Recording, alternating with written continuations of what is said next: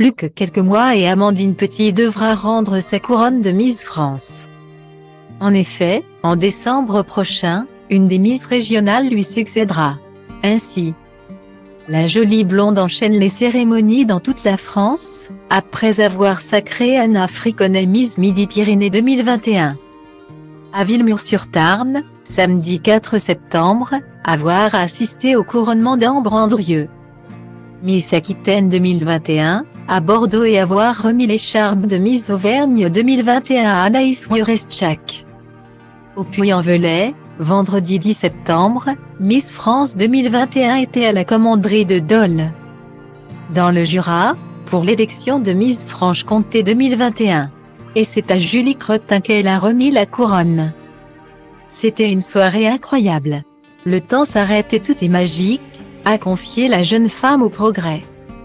Chaque élection régionale qui se passe me rapproche un petit peu plus de la fin de cette année incroyable. Point. Virgule écrivait Amandine Petit sur son compte Instagram. Durant cette année folle, Amandine Petit a pu compter sur sa famille, notamment sa grand-mère Nicole, qu'elle avait déjà présentée. Cette fois-ci, c'est sa grande sœur, prénommée Pauline, Miss France 2021 a dévoilé sur Instagram, ce mercredi 15 septembre.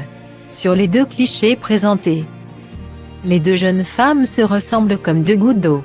On peut voir Amandine et Pauline. Tout sourire est très complice. Et apparemment, chez les petits, la beauté se transmet entre sœurs. Les fans d'Amandine Petit ne sont d'ailleurs pas privés pour lui faire savoir et complimenter les deux sœurettes, belles les filles. Vous êtes canon. Aussi grande que la tour Eiffel, la beauté, une affaire de famille. Vous êtes ravissantes, vous êtes magnifiques toutes les deux, super mignonnes toutes les deux. La tour est effacée par tant de beauté, oh, vraiment trop mimi et adorable comme tout cette petite Amandine. Peut-on lire en commentaire? Autant de réactions qui vont faire plaisir aux principales intéressées.